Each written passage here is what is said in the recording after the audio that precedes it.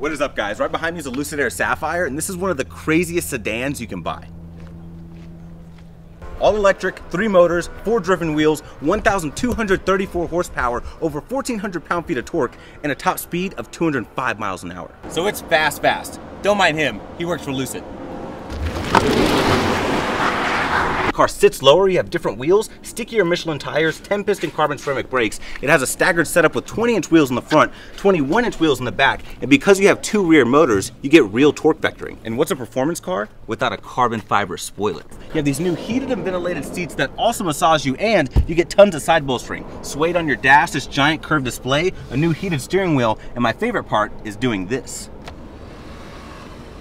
In the back I get tons of room. I get my own armrest, cup holders, extra storage space right down there, heated seats. If I push that button, that'll extend my rear sunshade. I get a side sunshade right over here and a grab handle so you can hold on.